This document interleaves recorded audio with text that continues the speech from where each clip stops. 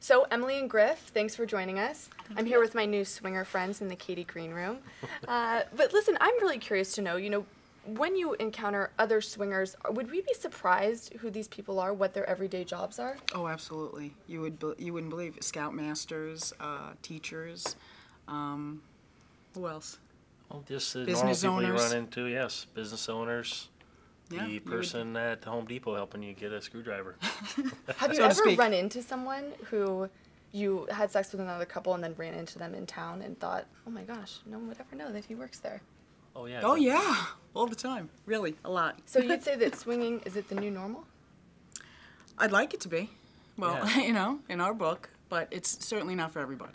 You have to be very, con- you know, you have to be very comfortable with each other and very, we very, we trust each other completely. Yeah, it has to just be a part of your relationship, not the entire relationship. Just a small part of who we are. Thank you. You're welcome.